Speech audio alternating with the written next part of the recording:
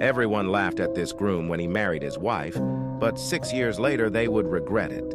This Russian couple were in love and couldn't wait to walk down the aisle and say, I do to each other on their magical day. In fact, they did have a wonderful wedding, but when they posted pictures of their special day afterwards on Facebook, what they did not expect was the amount of rude comments about the bride's appearance. In fact, some were even calling her the world's ugliest bride.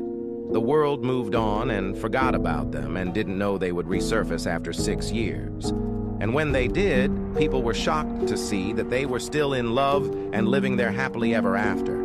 But the so-called ugliest bride in the world had undergone a full transformation and looked completely different. Now, admittedly, yes, she wanted to feel better about herself, but also wanted to be the beauty her husband saw in her the day they got married.